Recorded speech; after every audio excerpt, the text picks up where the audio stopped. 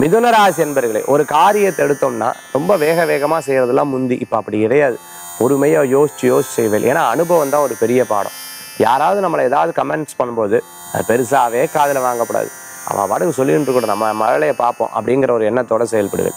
இது கமெண்ட்ஸ் கொடுக்கும்போதும் சரி கமெண்ட் பண்ணும்போதும் சரி பெருசாக சட்டையே பண்ண மாட்டேன்.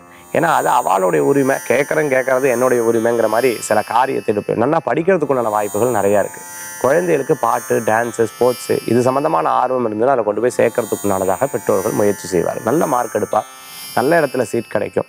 எதிர்பாராத ஒரு சில நல்ல விஷயங்கள் நடக்கும். அப்பப்போ தடங்களாகிறது யதார்த்தமாக நம்ம வாழ்க்கையில் நடக்கிறது தான் அதெல்லாம் தாண்டி வரக்கூடிய சில மனோதிடத்தை உருவாக்கி கொள்ள வேண்டும். இன்றைய தினத்துக்குண்டான அதிர்ஷ்டமான எண் ஒன்பது நிறம் ராமர பச்சை. வழிபாட்டுக்குண்டான தெய்வம் ஸ்ரீராமர் வழிபாடு.